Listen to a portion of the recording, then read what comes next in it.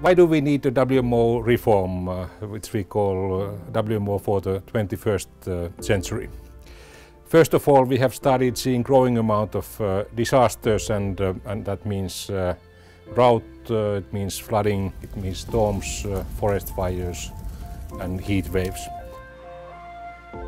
And the demand of WMO expertise has been rapid, rapidly growing and, and we have to respond to that, that demand. So water, weather and climate expertise of WMO is very high on the agenda globally.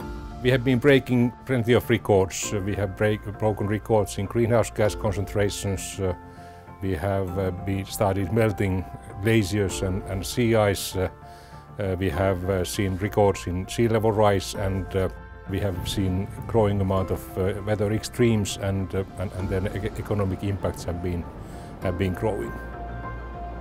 Various disciplines uh, that we are talking about uh, inside the Earth system, they have been getting closer to each other. So we, you cannot uh, talk about meteorology without understanding oceanography, hydrology or atmospheric chemical composition. One of the basic ideas behind this reform is to bring all of those elements under one umbrella and, and, and, talk about Earth system when it comes to observations, uh, services and, and also science.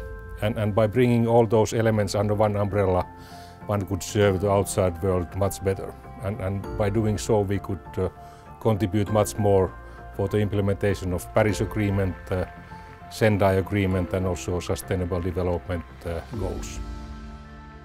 I fully believe that this uh, WMO for 21st century is, is a great, uh, great thing to do and that would also allow us to use uh, our resources here at the Secretariat more wisely and it, it would especially allow the, our members to use their resources more wisely and have much bigger impact uh, worldwide.